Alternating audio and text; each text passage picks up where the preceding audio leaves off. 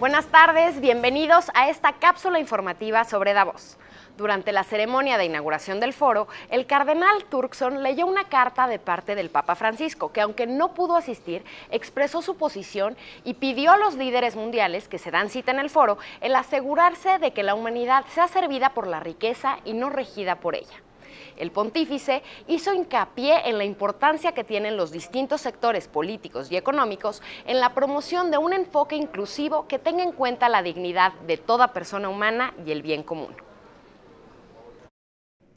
Efectivamente, son de alabar los avances que contribuyen al bienestar de la gente, como por ejemplo en el ámbito de la salud, de la educación y de la comunicación, así como en muchos otros sectores de la actividad humana, y hay que reconocer el papel fundamental desempeñado por la economía moderna en estos cambios a la hora de fomentar y desarrollar los recursos inmensos de la inteligencia humana.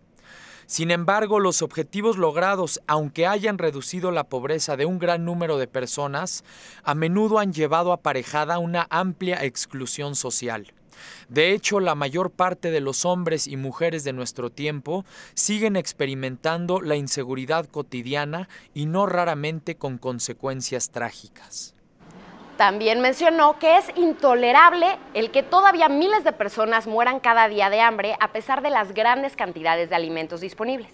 Y dijo que el crecimiento de la igualdad requiere algo más que el crecimiento económico, ya que además de esto se necesitan decisiones, mecanismos y procesos encaminados a una mejor distribución de la riqueza, así como la creación de fuentes de empleo y la promoción integral del pobre, por lo que exhortó a los asistentes en Davos a aprovechar los grandes recursos humanos y morales con los que cuentan y hacerse cargo de este desafío con determinación y visión de futuro, sin ignorar, por supuesto, los requisitos específicos, científicos y profesionales de cada sector.